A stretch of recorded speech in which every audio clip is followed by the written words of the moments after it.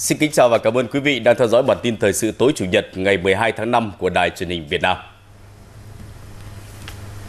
Sáng nay tại thành phố Cần Thơ, dự ngày hội khởi nghiệp quốc gia của học sinh sinh viên năm 2024, Thủ tướng Chính phủ Phạm Minh Chính mong muốn tinh thần khởi nghiệp, đổi mới sáng tạo sẽ không có giới hạn hay điểm dừng trong thế hệ trẻ, những người chủ tương lai của đất nước. Đây là năm thứ ba liên tiếp Thủ tướng tham dự sự kiện này, thể hiện sự quan tâm lớn của Đảng, Nhà nước đối với hoạt động khởi nghiệp, đổi mới sáng tạo. Nhấn mạnh khởi nghiệp, đổi mới sáng tạo là một động lực và nguồn lực quan trọng trong sự phát triển bền vững của mỗi quốc gia. Thủ tướng Phạm Minh Chính đánh giá cao việc tổ chức Ngày hội khởi nghiệp của học sinh, sinh viên từ năm 2018 đến nay, góp phần tôn vinh đổi mới sáng tạo, nghiên cứu khoa học và ứng dụng khoa học công nghệ. Tinh thần, phong trào và kết quả khởi nghiệp trong thanh niên đã và đang đóng góp cho sự nghiệp xây dựng và bảo vệ Tổ quốc Việt Nam xã hội chủ nghĩa trong giai đoạn cách mạng mới, thời đại Hồ Chí Minh. Đại học Thủy Lợi xin kính chào.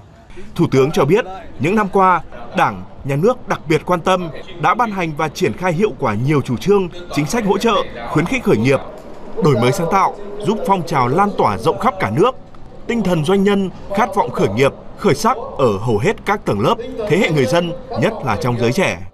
Tôi ờ, đi tham quan một số cái gian hàng thì tôi cảm nhận được một cái điều là khởi nghiệp của học sinh sinh viên đều dựa vào đổi mới sáng tạo, dựa vào khoa học công nghệ. Cái thứ hai là dựa vào sự phát triển của thị trường hay là nhu cầu của thị trường, nhu cầu của nhân dân. Sản xuất ra thì phải có thị trường, sản xuất ra thì phải tiêu thụ được. Và cái thứ ba dựa vào cái tiềm năng khác biệt, cơ hội nổi trội, lợi thế cạnh tranh của đất nước ta để phát triển hoặc là đi vào những vấn đề khó khăn, thách thức, mâu thuẫn để mà góp phần đưa ra giải pháp để tháo gỡ nó, hóa giải nó. Thì đây là những cái yếu tố phát triển mang tính chất bền vững. Bên cạnh những kết quả đạt được, Thủ tướng cho rằng hệ sinh thái khởi nghiệp vẫn còn những hạn chế, bất cập như việc liên kết giữa doanh nghiệp với các trung tâm nghiên cứu, trường đại học còn hạn chế. Các chính sách hỗ trợ khởi nghiệp đối với học sinh, sinh viên triển khai còn chậm. Để thúc đẩy hoạt động khởi nghiệp, thời gian tới, cùng với việc giao nhiều nhiệm vụ cụ thể cho các bộ, ngành địa phương, Thủ tướng đề nghị tập trung thực hiện đồng bộ, hiệu quả một đẩy mạnh, hai tăng cường, ba kết nối, bốn tập trung, năm khuyến khích. Trong đó, đẩy mạnh hoàn thiện thể chế, cơ chế, chính sách, tăng cường kết nối giữa nhà trường với các trung tâm nghiên cứu, tăng cường huy động mọi nguồn lực hợp pháp cho khởi nghiệp, đổi mới sáng tạo, kết nối các trung tâm khởi nghiệp, kết nối các địa phương, doanh nghiệp với các cơ sở giáo dục, tập trung hình thành, phát triển các trung tâm hỗ trợ khởi nghiệp, đổi mới sáng tạo, tập trung xây dựng sàn giao dịch ý tưởng, dự án khởi nghiệp. Trong năm khuyến khích, có nhiệm vụ khuyến khích, tạo động lực, truyền cảm hứng để học sinh, sinh viên, giảng viên, trong đó có thế hệ Gen Z tích cực tham gia các hoạt động khởi nghiệp, thúc đẩy thương mại hóa các sản phẩm nghiên cứu.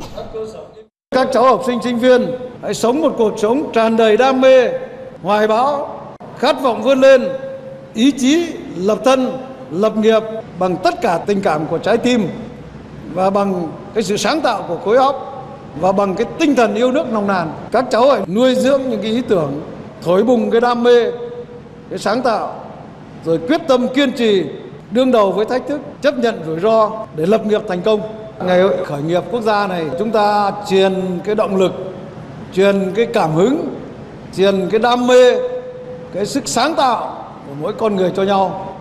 Rồi chúng ta cùng nhau xây dựng đất nước hùng cường và thịnh vượng, nhân dân Việt Nam được hạnh phúc ấm no dưới sự lãnh đạo của Đảng Cộng sản Việt Nam. Chiều nay, Thủ tướng Phạm Minh Chính và đoàn đại biểu Quốc hội thành phố Cần Thơ đã tiếp xúc cử tri trên địa bàn quận Ô Môn trước kỳ họp thứ 7 Quốc hội khóa 15. Tại buổi tiếp xúc, các cử tri quận Ô Môn bày tỏ phấn khởi, niềm tin với Đảng, Nhà nước trước các kết quả kinh tế xã hội trong 4 tháng đầu năm, nhất là công tác phòng chống tham nhũng, tiêu cực, đồng thời kiến nghị với các đại biểu Quốc hội nhiều vấn đề liên quan đến đời sống người dân như vấn đề hạn hán, xâm nhập mặn, sạt lở, đầu tư hạ tầng giao thông, chi trả chế độ an sinh xã hội, bảo vệ môi trường. Thay mặt đoàn đại biểu Quốc hội Cần Thơ, Thủ tướng Phạm Minh Chính cảm ơn những ý kiến tâm huyết, sát thực tiễn, rất đúng, rất trúng vấn đề của các cử tri đồng thời đã dành thời gian thông tin với cử tri về một số nội dung quan trọng tại kỳ họp Quốc hội tới, cập nhật về tình hình, kết quả phát triển kinh tế xã hội của đất nước, công tác chỉ đạo, điều hành của chính phủ, Thủ tướng Chính phủ thời gian qua và các nhiệm vụ trọng tâm thời gian tới. Thủ tướng nhấn mạnh, Chính phủ, các bộ ngành địa phương đang tích cực đẩy mạnh ba đột phá chiến lược, gồm hoàn thiện thể chế, cơ chế chính sách, cải cách thủ tục hành chính, phát triển kết cấu hạ tầng chiến lược, nhất là hạ tầng giao thông, văn hóa, giáo dục, y tế. Trong đó dành nhiều nguồn lực để đầu tư hạ tầng ứng phó biến đổi khí hậu ở đồng bằng sông Cửu Long.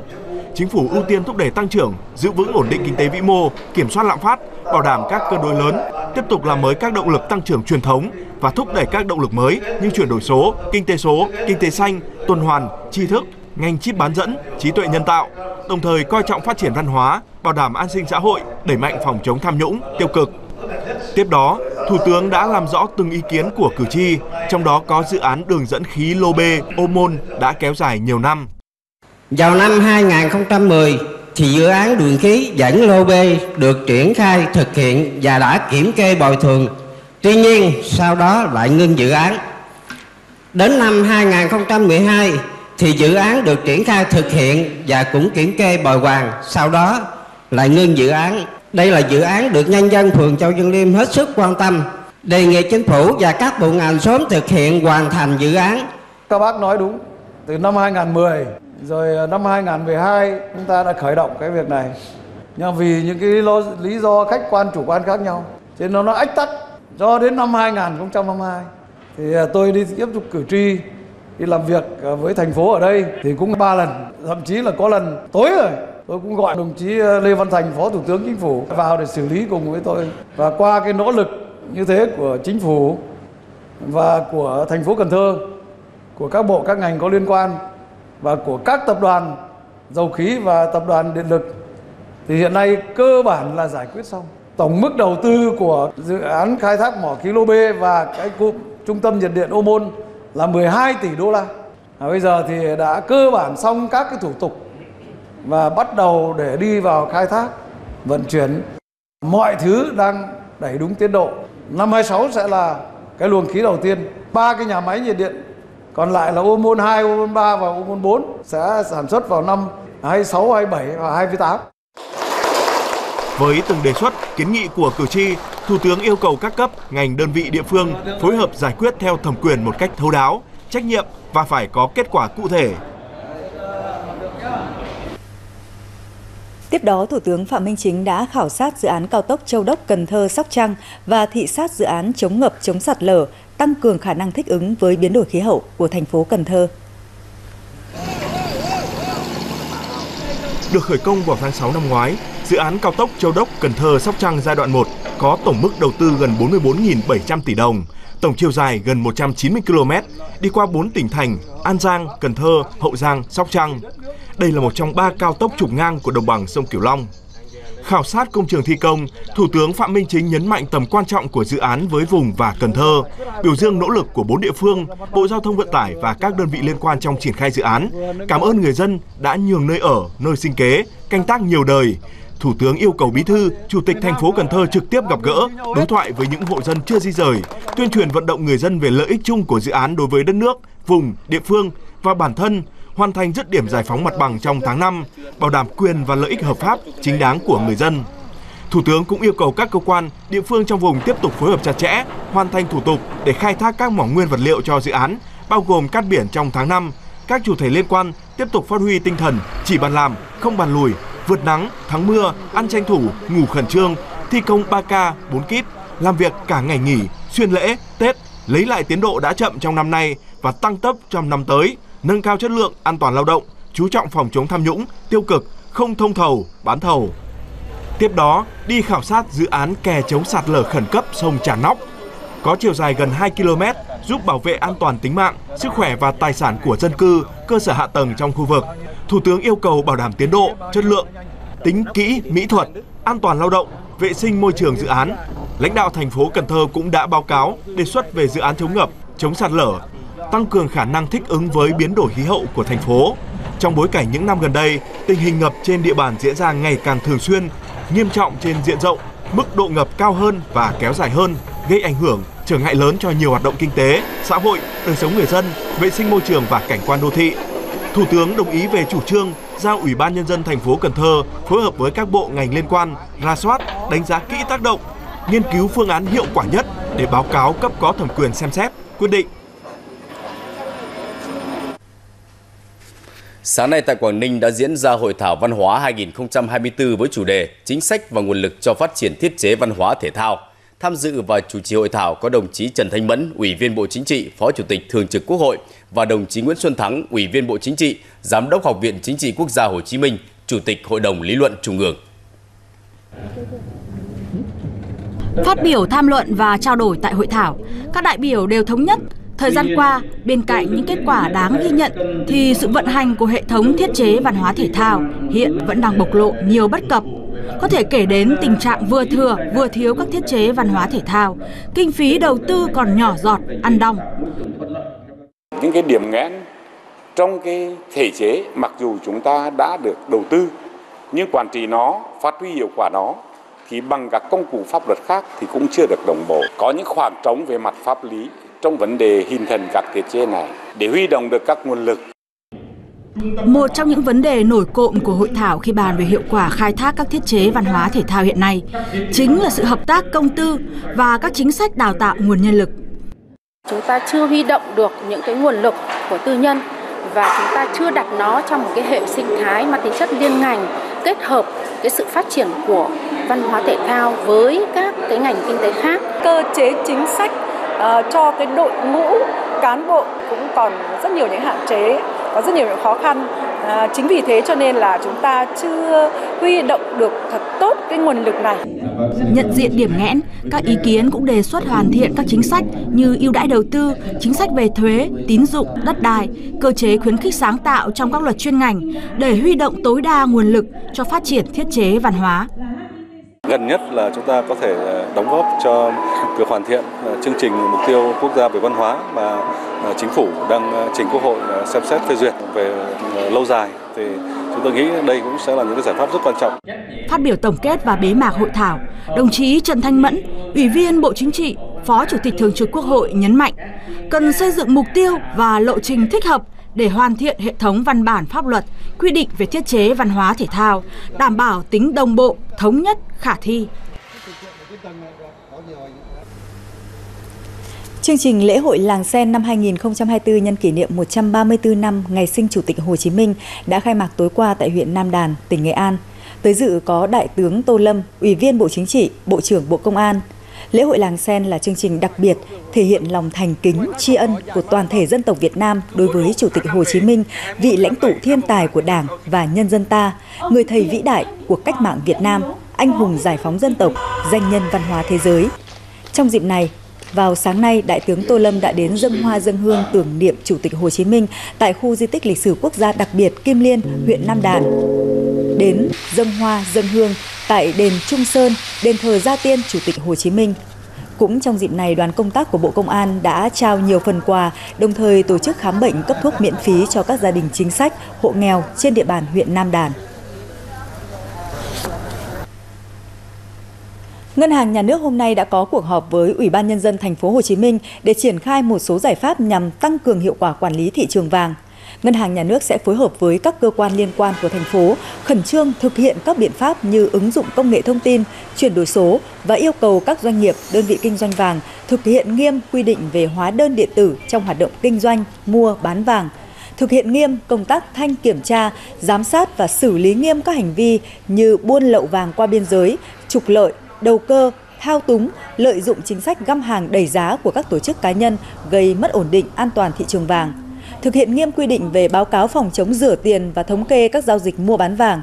Ngân hàng Nhà nước sẽ tiếp tục tổ chức các phiên đấu thầu bán vàng miếng cung ứng ra thị trường với khối lượng và tần suất phù hợp với nhu cầu thị trường. Người dân cần thận trọng khi tham gia giao dịch vàng để giảm thiểu rủi ro. Gắn tiến độ giải ngân với hiệu quả của nguồn vốn đầu tư công, đồng thời tạo tính lan tỏa cho nhiều vùng, nhiều địa phương. Đây là điều kiện tiên quyết trong việc lựa chọn triển khai các công trình dự án. Tinh thần này đang được lan tỏa để nhiều cấp bộ ngành và địa phương đẩy nhanh tiến độ thực hiện các dự án nhằm tạo động lực tăng trưởng kinh tế xã hội cho nhiều vùng. Ô nhiễm môi trường, khó khăn trong đi lại, những vấn đề này đang được thay đổi rõ nét khi tiểu dự án cải thiện cơ sở hạ tầng đô thị phát diện huyện Kim Sơn, tỉnh Ninh Bình đã được thi công. Đây cũng là địa phương đầu tiên triển khai dự án cải thiện cơ sở hạ tầng đô thị nhằm giảm thiểu tác động của biến đổi khí hậu cho bốn tỉnh ven biển Bắc Trung Bộ. Trước đây là toàn cái đường ờ, đây nó có 2 mét này này. Còn đây người ta làm ra là, là dân giờ được mừng quá đấy. Dân muốn làm cho thật nhanh để có con đường đi cho nó thuận tiện và cho sạch sẽ. Chú trọng hơn trong công tác chuẩn bị đầu tư, đặc biệt tập trung cho giải phóng mặt bằng. Tính đến hết tháng 4 năm nay, tỉnh Ninh Bình đã giải ngân được hơn 20% tổng mức vốn đầu tư công, cao hơn mức bình quân chung của cả nước. Có mặt bằng đến đâu thì thi công ngay đến đấy. Và ngay trong quá trình thi công thì chúng tôi phải hoàn tất đầy đủ các cái thủ tục về quản lý chất lượng, về hồ sơ, nghiệm thu thanh toán à, để kịp thời giải ngân ngay à, khi có khối lượng hoàn thành. Tính đến thời điểm này, nguồn vốn đầu tư công của cả nước đã được đưa vào các công trình dự án hơn 115.000 tỷ đồng, tương đương với gần 17% kế hoạch Thủ tướng Chính phủ giao. Đặc biệt trong đó, nhiều địa phương đã chủ động dành vốn để hoàn thiện dứt điểm các dự án giang dở trong nhiều năm. Ngoài việc thúc đẩy tiến độ của các dự án mới thì tỉnh Ninh Bình cũng dành một nguồn vốn nhất định để hoàn thiện các dự án giang dở. Ở đây là một biện pháp ờ, không chỉ chống lãng phí mà còn nâng cao hiệu quả của nguồn vốn đầu tư công, ờ, tạo sự phát triển kinh tế xã hội trong tương lai. Rõ ràng đây là thể hiện một cái sự rất là quyết liệt, à, quyết tâm của các địa phương và nó thể hiện cái tinh thần là dám nghĩ, dám làm và dám chịu trách nhiệm để chúng ta sớm đưa các cái dự án đầu công vào à, phát huy nó tăng cái hiệu quả lên chứ không phụ thuộc trông chờ vào các cái yếu tố như là nguồn đầu tư từ cấp trên hoặc là trông chờ các nguồn khác. Theo báo cáo của Bộ Tài chính, mặc dù tỷ lệ giải ngân vốn đầu tư công trên tất cả các lĩnh vực đều có sự khởi sắc, nhưng vẫn còn nhiều vướng mắc khiến tiến độ giải ngân chưa đạt đến như kỳ vọng. Theo đó, một số vấn đề đã tồn tại trong một thời gian dài liên quan đến cơ chế chính sách, công tác giải phóng mặt bằng, biến động giá cả nguyên vật liệu là nguyên nhân chính ảnh hưởng đến tiến độ giải ngân nguồn vốn quan trọng này. Hôm nay, dự án đường dây 500 kV mạch 3 từ Quảng Trạch, Quảng Bình đến phố nối Hưng Yên đã bắt đầu thi công đồng loạt nhiều gói thầu rải kéo dây sớm hơn một tuần so với kế hoạch đề ra. Với tổng chiều dài gần 520 km đi qua địa bàn 9 tỉnh thành, việc thực hiện sớm gói thầu này sẽ đảm bảo mục tiêu đưa dự án về đích đúng hẹn. Gói thầu số 37 bao gồm 6 khoảng néo, hành lang tuyến thuộc dự án đường dây 500 kV mạch 3 đoạn Nam Định 1, Thanh Hóa. Ngay khi toàn bộ vật tư thiết bị được tập kết, công tác giải, kéo dây đã được nhà thầu đồng loạt triển khai nhằm tranh thủ thời tiết thuận lợi. Công tác giải, kéo dây tại nhiều gói thầu của dự án đường dây 500 kV mạch 3 đã được đẩy sớm hơn kế hoạch là một tuần. Qua đó sẽ đảm bảo công tác giải kéo dây toàn dự án sẽ kết thúc trước ngày 15 tháng 6 năm nay. Chủ đầu tư cho biết toàn dự án có 503 khoảng néo, hành lang tuyến. Hiện 80% đã được các địa phương bàn giao. Theo cam kết, công tác này sẽ được hoàn thành trong 3 ngày nữa. Tuy nhiên, để đẩy nhanh tiến độ dự án, hiện công tác giải, kéo dây đã được triển khai ngay khi công tác dựng cột hoàn tất. Nhà thầu sẽ tập trung mọi nguồn lực, nhân lực, máy móc thiết bị để đẩy nhanh công tác triển khai uh, dựng cột và kéo dây. Nhà thầu đang dự kiến kế hoạch là hoàn thành công tác kéo dây dự kiến trong vòng 7 ngày. Hiện nay trên toàn tuyến Nam Định 1 Thanh Hóa đã hoàn thành 176 vị trí móng cũng như đã và đang dựng 157 cột. Thì với việc mà các cái địa phương nhân dân nơi đường dây đi qua đã bàn giao cơ bản bàn giao các cái khoảng à, hành lang thì chúng tôi đã đẩy sớm cái việc à, kéo dây lên một tuần để đảm bảo đúng theo chỉ đạo của Thủ tướng là đóng điện à, tuyến đường dây này vào cuối tháng 6. Theo kế hoạch đề ra, tuyến truyền tải 500 kV mạch 3 từ Quảng Trạch, Quảng Bình đến phố nối Hưng Yên sẽ hoàn thành và đóng điện trước ngày 30 tháng 6, đảm bảo truyền tải trên 20 tỷ kWh điện mỗi năm, đáp ứng thêm nhu cầu điện năng để phục vụ phát triển kinh tế cho miền Bắc. Hôm nay, hãng hàng không Vietjet đã đưa vào khai thác đường bay thẳng đầu tiên từ Việt Nam tới Hiroshima của Nhật Bản và cũng là đường bay thứ 8 của hãng này tới Nhật Bản. Chặng bay này dài khoảng 4 giờ đồng hồ và có hành khách có hai sự lựa chọn bay khứ hồi mỗi tuần vào thứ năm và chủ nhật từ Hà Nội tới Hiroshima. Với sân bay Hiroshima thì đây là đường bay quốc tế đầu tiên được mở lại kể từ sau đại dịch. Như vậy, Vietjet hiện có 116 chuyến bay mỗi tuần giữa Việt Nam và Nhật Bản, qua đó mở ra nhiều cơ hội hợp tác, giao lưu văn hóa, kinh tế, du lịch giữa hai nước. Việt Nam là nước sản xuất xi măng lớn thứ ba thế giới. Thế nhưng ngành xi măng đang phải đối mặt với giai đoạn khó khăn nhất từ trước tới nay, cả trong sản xuất lẫn tiêu thụ sản xuất. Hiệp hội xi măng Việt Nam mới đây cũng đã có kiến nghị các biện pháp để gỡ khó cho ngành trong bối cảnh nhiều doanh nghiệp đang có nguy cơ phá sản hoặc phải bán một phần cho nước ngoài. Đây là doanh nghiệp xi măng có quy mô xuất khẩu lớn nhất miền Bắc. Cả xuất khẩu lẫn bán trong nước của doanh nghiệp này đều đang liên tục giảm sâu. Năm ngoái giảm 20%, quý 1 năm nay giảm 25%. Tình hình quý 2 nếu như không được cải thiện thì sang quý 3 nguy cơ sẽ phải dừng hoạt động toàn nhà máy. Dây chuyền quy mô lớn như thế này khi mà dừng thì công tác bảo trì bảo dưỡng cũng như là chuẩn bị cho khôi phục sản xuất là vô cùng là tốn kém. Nó tác động đến các cái đối tác bạn hàng và đặc biệt là có thể ảnh hưởng đến cái khả năng trả nợ của công ty đối với các cái tổ chức tín dụng. Đây là lò nung clank ke, là trái tim của một nhà máy sản xuất xi măng. Và trong trường hợp những lò này phải dừng hoạt động lâu dài thì thiệt hại có thể lên tới khoảng 2 tỷ đồng mỗi ngày, khoảng 300 lao động sẽ phải nghỉ việc. Và khi vận hành trở lại thì còn khó khăn hơn bởi vì đây đều là những lao động chất lượng cao và không hề dễ để tuyển dụng được. Đây cũng đang là tình cảnh chung của hơn 60 nhà máy xi măng trên cả nước. Hai năm qua, lượng tiêu thụ xi măng ở trong nước đã tăng trưởng âm. Hiệp hội xi măng Việt Nam đang kiến nghị chính phủ có giải pháp, nhất là về công nghệ xây dựng để tăng lượng tiêu thụ xi măng. Chúng ta làm sao phải uh, tăng cường cái công tác uh, xây dựng kết cấu hạ tầng và xây dựng cơ bản để uh, đưa cái nguồn cung ở trong nước nó lên nó tương xứng với cái trình độ cũng như là cái sức của cái nền kinh tế hiện nay. Thế theo đánh giá của chúng tôi là hiện nay là đang thấp. Bán trong nước đã khó, xuất khẩu giá cũng đang thấp. Ngành xi măng đang kiến nghị bãi bỏ thuế xuất khẩu với clank ke xi măng.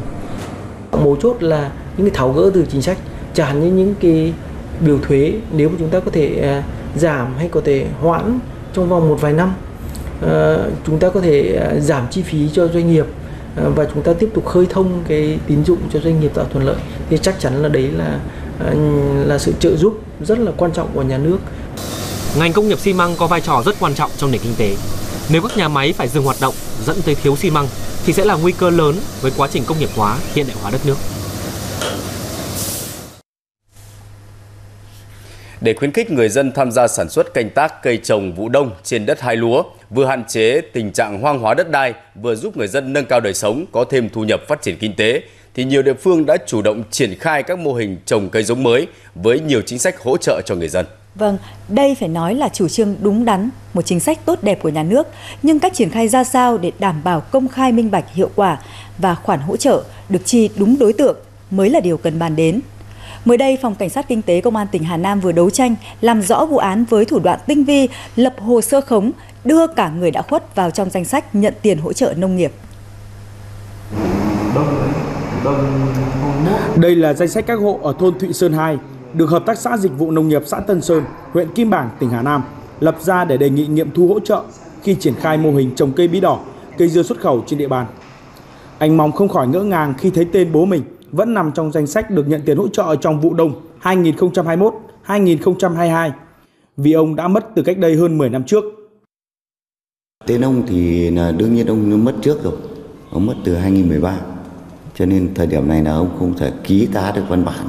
Tất nhiên có thể bảo là thôi ruộng đứng tên ông thì con cái nếu như được hỗ trợ thì vẫn đứng ký tên ông để lấy tiền cũng được nhưng mà thực tế là không được nhận. Cứ phải nói rõ với nhau là không được nhận tiền. Thì ở trong này thì tôi nhận thấy là có 5 người đã qua đời thì rất lâu rồi có có những người tôi biết có người tôi không biết nhưng mà tôi chỉ xác định được là hai người là tôi biết còn ba người kia là là tôi không biết được là qua đời khi nào người đã khuất lại ký tên trên bản nghiệm thu nhận tiền chuyện lạ nhưng có thật và cùng xảy ra ở nhiều thôn khác trong xã Tân Sơn huyện Kim Bảng. Hai cái ông này là chết rồi nhưng mà các ông ấy là vẫn đứng chủ hộ trong cái sổ sổ mà ruộng đấy. Thì chắc người ta lên danh sách là người ta vẫn nên theo cái danh sách tên các ông ấy. Nhưng mà sao mất rồi lại có chữ ký ạ? Cô không biết ạ. Cái đây là cô chỉ biết tại vì đây là cùng đội. Dĩ nhiên người khuất không thể sống lại nên những bất thường trên hồ sơ thanh toán nghiệm thu tiền hỗ trợ người dân canh tác nông nghiệp đã được các cán bộ điều tra thuộc phòng cảnh sát kinh tế công an tỉnh Hà Nam phát hiện làm rõ. Bước đầu kết quả điều tra xác định ba bị can lần lượt là giám đốc, thủ quỹ và kế toán trưởng của hợp tác xã dịch vụ nông nghiệp Tân Sơn đã cấu kết lập danh sách khống với hơn 1.800 người, gây thiệt hại cho ngân sách gần 600 triệu đồng. Kết quả điều tra đã xác định là có khoảng gần 300 trường hợp là những người đã chết nhưng các đối tượng đã đưa vào trong danh sách để lập hồ sơ đề nghị ờ, cơ quan nhà nước là cấp tiền hỗ trợ. Đấy. Trong hồ sơ thì thể hiện cái việc là, là những cái người này vẫn được ký vẫn ký nhận tiền. Em cũng ký một số chữ như là uh, chị kế toán cũng ký một số chữ còn ngoài ra thì em cũng không biết ai ký. Từ danh sách khống được lập ra, Ủy ban nhân dân xã Tân Sơn thời điểm đó đã được khen thưởng vì hoàn thành xuất sắc vượt chỉ tiêu 100% kế hoạch sản xuất nông nghiệp của địa phương. Tất cả cũng vì phong trào, cũng vì là cái uy tín thành tích của xã. Bây giờ nó thật anh em là bây giờ nếu như không có phong trào thì huyện giao, đặc biệt ở huyện Kim Bảng giao là rất là khắt khe. Nếu như mà giao mà không làm thì bí thư chủ tịch là cứ gọi lên suốt. Đấy, thế bây giờ mình không làm mà mà thành tích không có kiểm tra không có không làm thì là rất phức tạp Vậy là để đạt được thành tích cao trong phong trào của địa phương, các đối tượng đã triển khai bằng cách làm gian dối. Vì bệnh thành tích nên mục đích khuyến khích người dân tham gia sản xuất phát triển kinh tế cuối cùng cũng không thực hiện được. Đến thời điểm hiện tại, cơ quan điều tra đã khởi tố 3 bị can, lần lượt là giám đốc, thủ quỹ và kế toán của Hợp tác xã Dịch vụ Nông nghiệp Tân Sơn để điều tra về tội lợi dụng chức vụ quyền hạn trong khi thi hành công vụ, theo Điều 356 Bộ Luật Hình sự. Còn Chủ tịch Ủy ban Nhân dân xã Tân Sơn bị khởi tố về tội thiếu trách nhiệm, gây hậu quả nghiêm trọng, theo Điều 360 Bộ Luật Hình sự. Từ kết quả điều tra vụ án, Phòng Cảnh sát Kinh tế Công an tỉnh Hà Nam đã kiến nghị cơ quan chức năng và chính quyền địa phương cần tăng cường công tác giám sát thanh tra trong khâu thẩm định, nghiệm thu khi triển khai các chính sách an sinh xã hội, phát triển kinh tế, đảm bảo tiền ngân sách được chi trả đúng người, đúng mục đích, tránh thiệt hại cho nhà nước. Năm nay kỷ niệm 65 năm ngành khoa học công nghệ Việt Nam. 65 năm qua, trong điều kiện nghiên cứu khoa học còn khó khăn, hạn chế so với nhiều nước, các nhà khoa học Việt Nam vẫn luôn nỗ lực tìm tòi, nghiên cứu sáng tạo, đóng góp nhiều kết quả nghiên cứu hữu ích, phục vụ công cuộc đổi mới và phát triển đất nước. Chúng ta cùng nhìn nhận những đóng góp của các nhà khoa học thông qua giải thưởng Tạ Quang Bửu những năm gần đây. Đây là chiếc lá nhân tạo rất mỏng, nhẹ, có cơ chế hoạt động như một tấm pin mặt trời. Khi đưa vào môi trường nước, được chiếu dưới ánh sáng có cường độ tương tự ánh sáng mặt trời. Nó giúp chuyển hóa thành năng lượng hóa học tích trữ trong nhiên liệu hydro, đặt nền móng cho nghiên cứu năng lượng hydro sạch. Công trình do Phó Giáo sư, Tiến sĩ khoa học Trần Đình Phong làm chủ nhiệm với 4 bài báo được công bố quốc tế. Từ những cái nghiên cứu của chúng tôi thì cộng đồng đã hiểu hơn về cái cấu trúc, cơ chế hoạt động cũng như tìm kiếm ra được những cách mà có thể tăng cường cái à, khả năng làm việc của cái lớp xúc tác đó để tiến dần đến chuyện là thay thế à, cái xúc tác platin trong công nghiệp.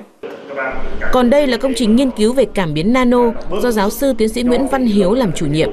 đưa ra phương pháp chế tạo cấu trúc nano thứ cấp mới đơn giản, dễ điều khiển và có thể mở rộng cho việc chế tạo nhiều loại cấu trúc nano thứ cấp khác trên cơ sở các cấu trúc nano một chiều.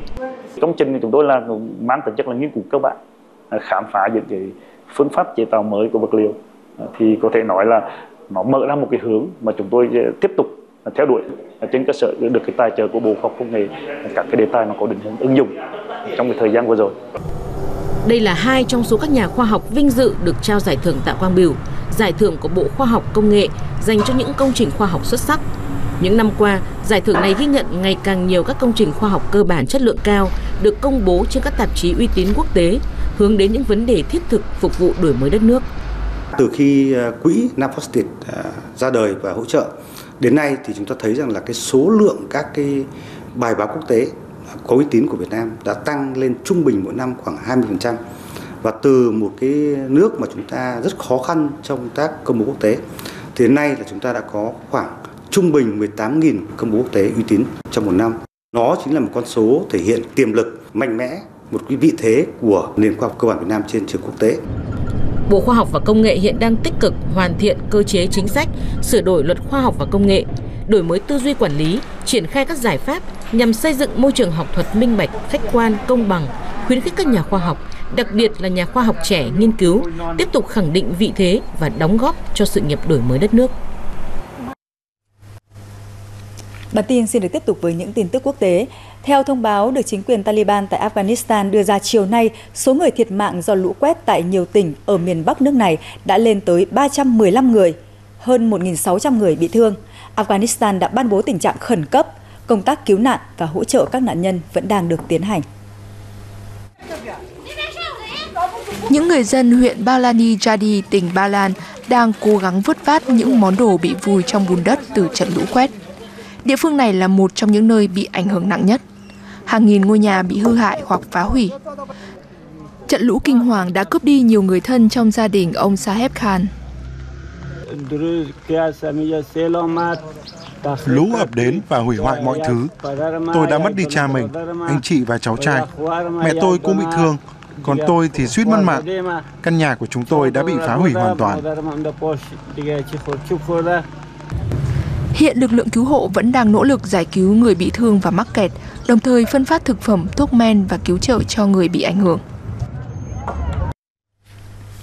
Trung tâm Cảnh báo và Giám sát Thời tiết Không gian Quốc gia Trung Quốc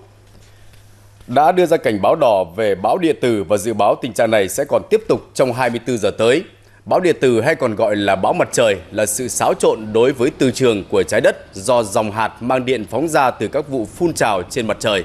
Do ảnh hưởng của bão điện tử thì tầng điện ly ở hầu khắp các khu vực của Trung Quốc có thể bị xáo trộn. Thông tin bằng sóng ngắn, định vị dẫn đường sẽ bị ảnh hưởng ở các mức độ khác nhau. Theo trung tâm nói trên thì bão điện tử có tác động nhất định đến hoạt động quỹ đạo của vệ tinh và phương tiện hàng không nhưng có thể đo lường và kiểm soát được và chỉ tác động nhỏ đến cuộc sống của người dân.